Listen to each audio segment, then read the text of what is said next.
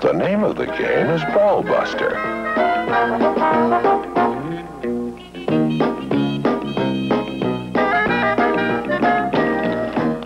It's a family game, fun for children.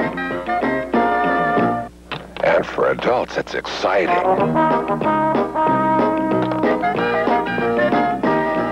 You make strategic offensive and defensive moves. Try to bust your opponent's balls. It's as easy as checkers. But exacting like pool. You're a ball buster. Ball Buster, a great new game from Huggy